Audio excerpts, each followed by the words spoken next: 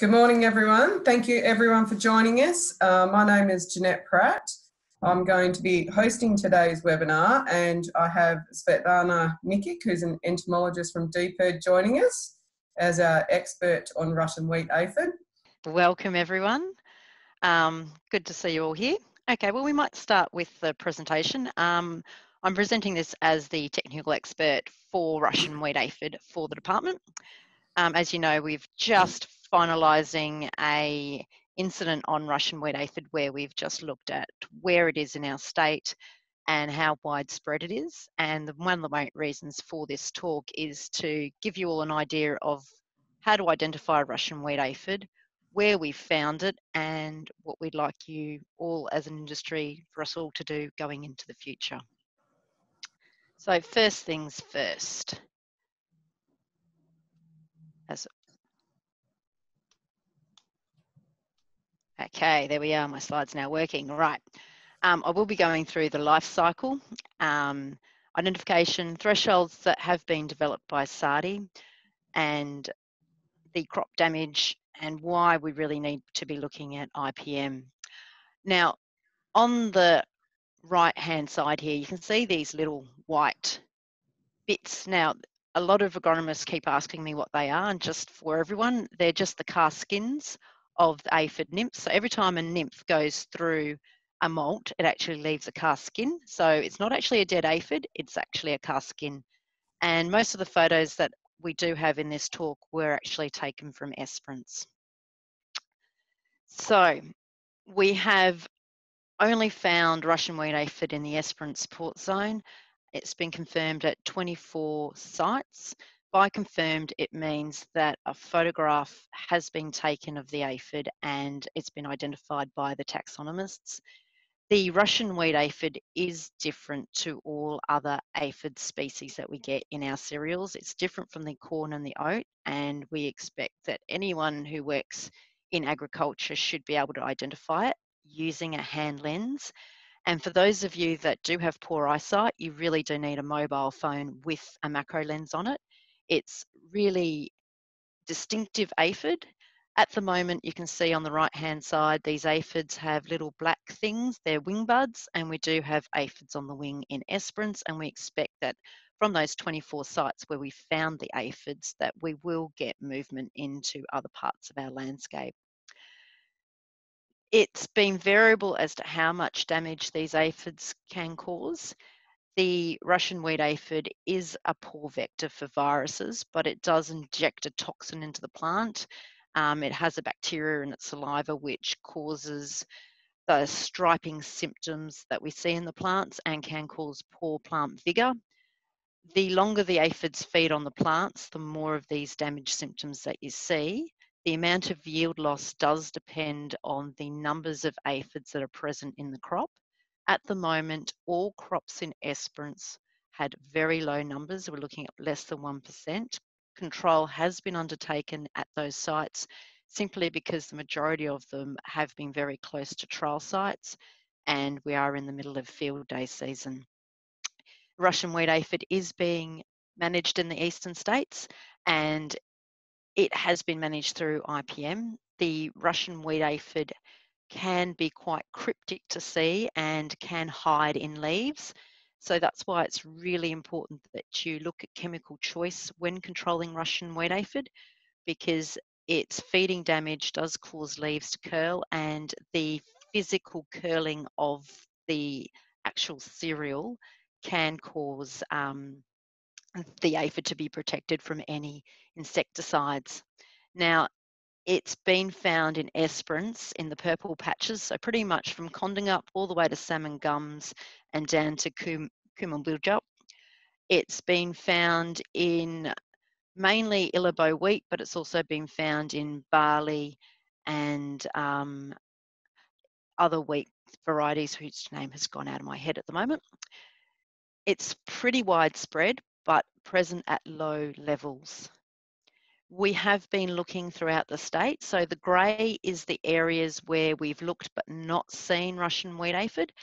And we've looked at 198 sites totally and only found the Russian wheat aphid at 24. So we have looked from Northampton down to Esperance and across to Albany, mainly concentrating um, in the low to medium rainfall areas. And this is really where we expect that the Russian wheat aphid may be more of a concern simply because in the higher rainfall areas we do tend to use insecticidal seed dressings a lot more um, and that's one of the reasons it was first, the aphid in Esperance was first detected in wheat where we don't usually use the seed dressing. And it was on early sown wheat that was um, experiencing a bit of moisture stress as well.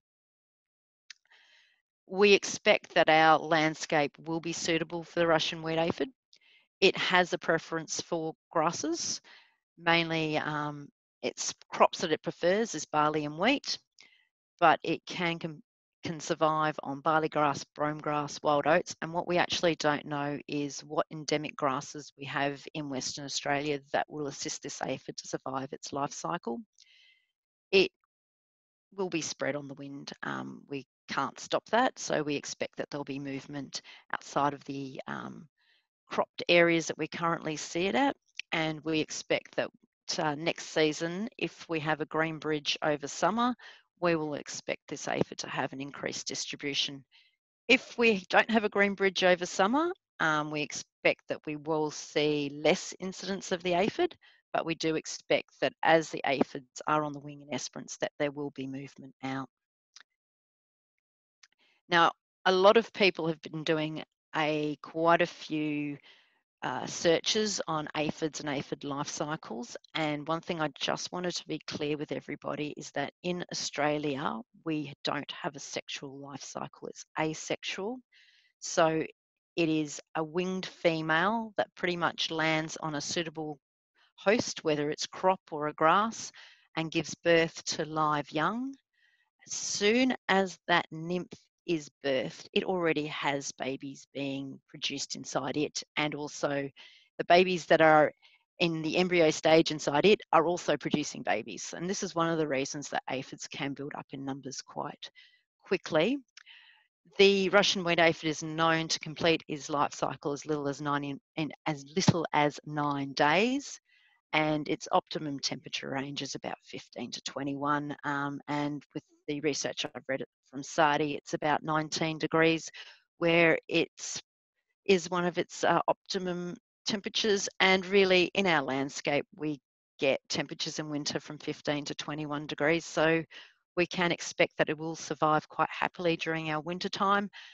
We know that a hot, dry summer will decrease its numbers. It doesn't like the heat as much. However, we do have pockets of vegetation where we expect that this aphid will persist. So we expect that it's the southern ag regions where we do have the milder summers where we'll see the aphids persisting. Now, just a little bit of a recap for everybody about aphid biology because we're really relying on you as the people that are out in the paddocks all that might be dealing with industry to be able to identify this aphid. Now, the at the back end of aphids, you have these little exhaust pipe things. They're called siphunculi, and that's important. I'll show you in a minute why. And the back end, this little tail region, is called the cauda. The other thing that you need to, when you're looking at an aphid, is you need to take note of colour and of the length of the antennae. Now, for those of you that are colour blind, I realise that colour is not a good indicator, but you do need to also look at the aphid shape. So the reason it's important is the Russian wheat aphid does not have any siphunculi. And it's very easy to see if you are using a hand lens or even a mobile phone with a macro lens. You can just take a photo and zoom right in and you can see whether the aphid has got siphunculi or not. It also has a bifurcated cauda, which basically means um, a double tail at the tail end. So you can see here there's two tails. That's not very obvious when you are looking at it in the field. You do need to pop it under a microscope to really see that.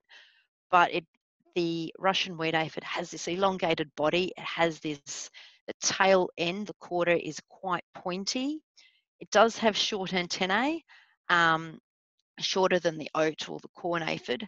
However, it's really the body shape and this light green colour that you do see that's the distinctive features and the lack of siphunculi. The adult oat aphids are quite pear-shaped. They do have longer antennae, but what they do have is the siphunculi and the rusty red patch on the bottom. They are quite different to the Russian wheat aphid, which is you can just see how light green in colour it is. And again, it lacks the siphunculi. The other thing that the Russian wheat aphid has is these black eyes, distinctive black eyes, which we don't really see in our other two species. You can see here again, the black eyes on the Russian wheat aphid, the elongated body, the pointy bum, whereas the corn aphid is slightly more elongate. You can see that it's got the siphunculi here. And if you actually look around the edge of the siphunculi is a dark greeny patch. The cauda isn't as pointed and it does have quite dark coloured legs and again it doesn't have these bright black eyes. You can see again there that the black marks indicate that the Russian wheat aphid does not have any siphunculi why are we interested in the Russian wheat aphid? Um, apart from the fact that it's spread quite rapidly, in 2016 it was first detected in South Australia and uh, now it's 2020 and we have it in Western Australia. It is a worldwide pest, um, having spread throughout the major growing growing areas of the world. Uh, overseas, it has caused more damage than what it has been reported as causing from South Australia but we don't actually know exactly what it's going to do in our landscape because we do have quite a lot of areas which are low to medium rainfall where in the years that we get uh, a green bridge with barley or brome grass present throughout our landscape, we can expect that even if you are controlling the weeds in your paddocks, it's the roadsides and the verges where we can breed up high numbers of aphids, and that's when we expect that we'll get movement in. The thresholds that um, have been adapted from overseas and being used in the eastern states is if you are finding 20% of seedlings up to growth stage 30 with aphids or 10% of tillers from growth stage 30 with aphids to consider spraying. The symptoms that we see on the plant can be the result of feeding of 10 to 20 days. It's interesting in that the feeding damage caused by the Russian wheat aphid is at times quite subtle. So if it's present on the plant early, you do see this streaking and it's obvious purple, white, green streaking up and down the leaf. Um, the plants can be quite prostrate. In Esperance, we actually didn't see prostrate plants, but what we did see was uh, a flag leaf with striping that had curled, and in some cases, wheat like this one here on the right hand side, where we did have um, the awns just looking deformed, and it looks like there may be uh, some uh, grain loss in that head. And we did see some grain loss, and it's been very rare in the Esperance region, um, really limited to single plants. The symptomatic damage in the paddock can be quite subtle, and we're asking that if you are looking in any cereal paddocks, especially any that have not had a seed dressing, to look for striping of the plant uh, a flag leaf that's curled. So if the crop's not moisture stressed and you're seeing curled flag leaf, open it up and have a look. And if it's got striping, have a really, really good look. So you can see here on the right, on the left-hand side, sorry, um, this very subtle striping of the flag leaf. The edges have a little bit of purpling, and here it's a little bit more pronounced, the purpling on the edge of a flag leaf. And what we did was we opened those up and only in one case did we actually find aphids present along the flag leaf. In most cases, the aphids were present between the base of the leaf and the stem, And in this case, there's only three aphids on this whole plant that we actually found. And the plant only had striping on the flag leaf, and that's the only leaf we actually found the aphids on. But what we're asking you to do is to look at all the leaves on a plant. So pull up the plant and have a look at all the leaves, have a look at the base, and you're looking for an aphid with, and you can see here that it's got these bright black eyes, um, light green body shape, and with a pointed tail. We don't need samples to be able to identify the aphid. We are asking you to take a good quality photograph, and for that, you do need a mobile phone with a uh, macro lens on it. Uh, there are some of the newer mobiles with a macro function, which does work quite nicely. The photo does need to be in focus, and we can identify it from a very good photo. What we are getting though is a lot of reports of Russian wheat aphid causing crop damage, but on further inspection, it actually hasn't been a Russian wheat aphid. It's been the result of either um, a herbicide, as in the case here, you can see that uh, quite a lot of the crop has got um, streaking, but on close and the awns have a deformity, but on closer inspection, it's actually been um, herbicide damage. We've also had reports of Russian wheat aphid that have been linked to not Russian wheat aphid, but to nutritional deficiencies in the crop. So you can get streaking and other funny looking leaves from the result of not just Russian wheat aphid, but from herbicide and nutritional deficiency. So that's just also something to bear in mind. To date, we cannot identify if the crop has had Russian wheat aphid from the leaf damage. We do actually need to see the actual aphid to confirm that it is um, the, that the streaking is the result of Russian wheat aphid. We are right now at the stage where majority of uh, cereal crops are flowering and are not at risk from Russian wheat aphid. We are asking that if you do happen to be out and about in the paddocks anyway, please just have a look. Only in the crops, we're not asking you to look in the weeds because the grass weeds aren't very symptomatic and it's very difficult to see Russian wheat aphid in them. But if you do happen to be going into any cereal paddocks, please have a look at the edge of the paddock. We're looking for you to only walk in about 20 metres. If you can, look at at least 30 plants. But um, what we actually found was that it's just a good idea to look and just see for any purpling or streaking on the leaves as a good indicator.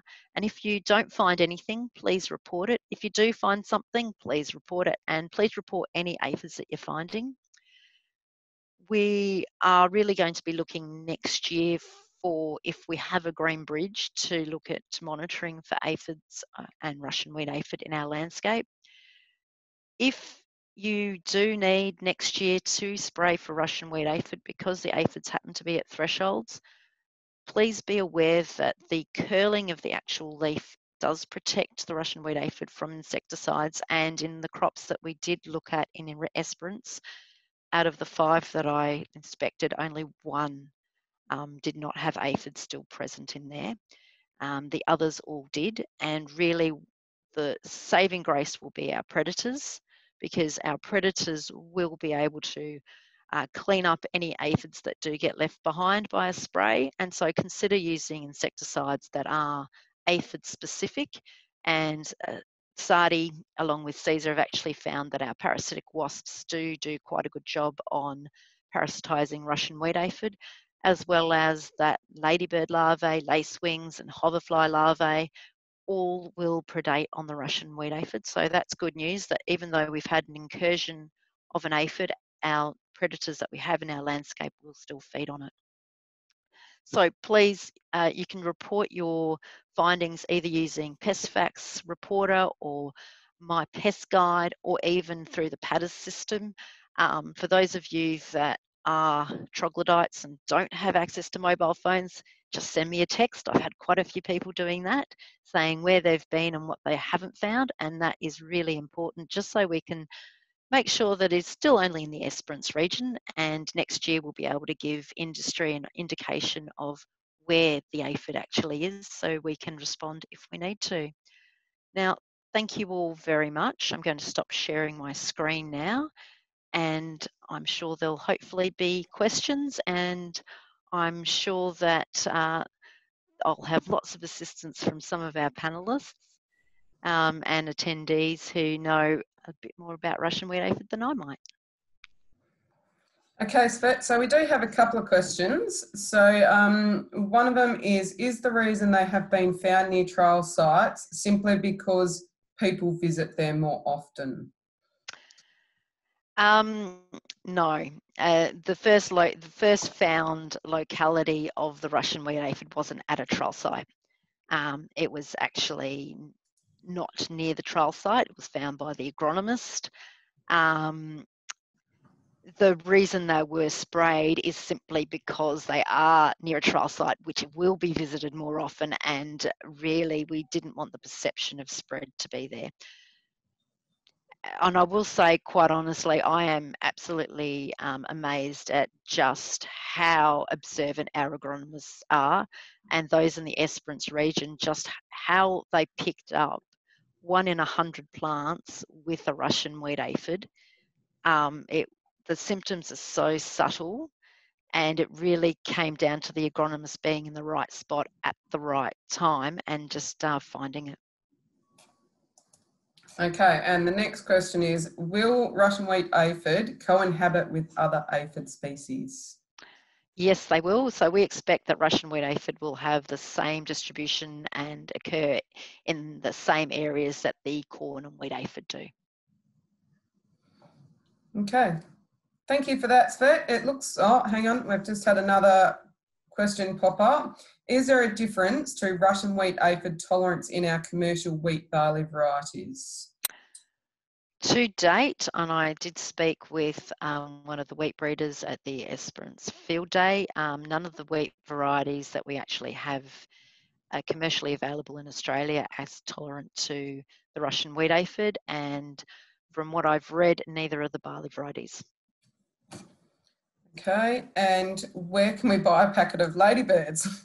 also, do all our common sprays work on them? No resistance to in Russian wheat aphid to any of our insecticides. Um, and the only way to get your ladybirds to stick around is to really look at what you're spraying throughout the season. Um, and look, our synthetic pyrethroids are toxic to ladybirds, so the less times they get applied late season, the more they'll be in the landscape. Um, and you'll see in your chat that Maarten Van Helden has just said we've had spray failures with alpha cypermethrin. Ah, that's good to know. So, Maarten, can you confirm whether the spray failures are due to resistance to the alpha cypermethrin or due to the aphids hiding in a um, leaf that's been curled around. Sorry, I'm just trying to make Maarten unmuted. Yeah. Oh, that's good. No, okay, Maarten, you can unmute yourself now. Thank you. Yeah. Hello, everybody. Um, in in that specific case, it was quite a young crop that was sprayed. Normally, it should have worked, um, and actually, it was the case in the very first paddock where Russian wheat aphid was detected that after two application of alpha cypermethrin, the aphids were still alive. So um, we consider alpha cypermethrin as not being a very good choice against Russian wheat aphids. Thank you. And um, just for those of you who don't know, Maarten Van Helden is a senior entomologist from the South Australian Research and Development Institute who has been researching Russian wheat aphid for how many years now? Uh, since 2016, so from the very start. yes. Okay, well, I think that looks like all our questions have been answered. So thank you, Svet, for joining us. Thank you for your help as well, Maarten. And um, just to let you know that we have recorded this webinar and we will send a link out to everyone and it will be available on our website as well. So it should be available in the next week. Okay, thanks for joining us, everyone. Thank you all.